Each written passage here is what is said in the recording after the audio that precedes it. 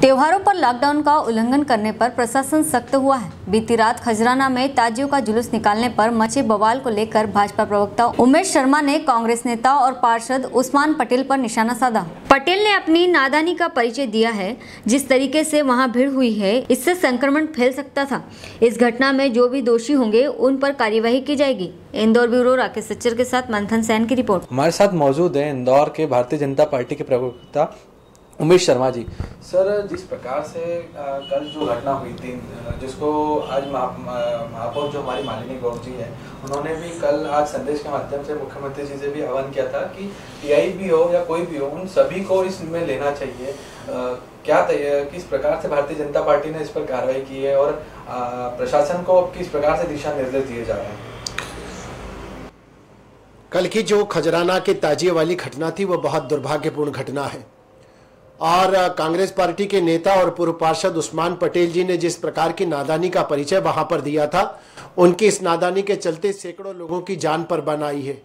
और मुझे लगता है कि एक बार वापस कोविड के मुहाने पर खजराना को ले जाकर खड़े करने की अ, अ, पाप जो उस्मान पटेल जी ने करा है भारतीय जनता पार्टी ने इस पर तीखी आपत्ति लगाई।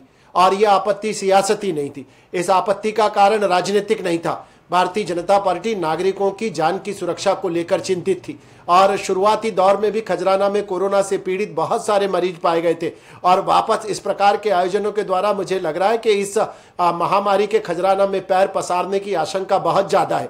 इसलिए हमने तत्काल आपत्ति करी थी और इंदौर शहर की पूर्व महापौर और भारतीय जनता पार्टी की विधायक आदरणीय मालिनी लक्ष्मण सिंह जी गौड़ ने भी इस बात को लेकर माननीय मुख्यमंत्री जी को घटना की जानकारी दी है। और उन्होंने कहा है कि बार बार एक वर्ग विशेष के द्वारा इस प्रकार के पुनरावृत्ति करी जाती है। आ, मेडिकल स्टाफ को मारा जाता है पैरा मेडिकल स्टाफ को मारा जाता है थूका जाता है असहयोग किया जाता है। इस प्रकार के ताजिए निकालने वाली घटना से एक बार ये फिर सिद्ध हो गया कि प्रशासन की गाइडलाइन को पालन करने का मानस जो है वो उस्मान पटेल जी और उनकी टीम और उनकी टोली में नहीं था इसलिए भारतीय जनता पार्टी ने कार्रवाई की मांग की है। कि जी ने अभी सुबह वीडियो वायरल किया गया था जिस वजह से अब वो आगे भी अब कार्रवाई के लिए कर रहे हैं। भारतीय जनता पार्टी पर भी आरोप लगा रहे हैं कई प्रकार से आरोप लगा रहे हैं।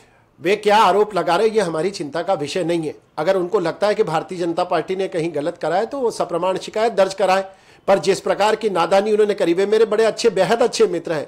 पर उन्होंने जिस प्रकार की नादानी करी है वो बहुत ज़्यादा चिंताजनक है। और जिला प्रशासन ने तेरह व्यक्तियों के विरुद्ध नामजद एफआईआर दर्ज की है। और संभवतः उसमें से जो कुछ प्रमुख तत्व हैं, उनके विरुद्ध रासुका की कार्रवाई भी की जा सकती है। हेलो फ्रेंड्स आप देख रहे हैं हमारा channel S W twenty four news हमारे सारे वीडियो सबसे पहले देखने के लिए आप हमारे चैनल को सब्सक्राइब करें और पास में लगे बेल आइकन को दबाना बिल्कुल भी ना भूलें।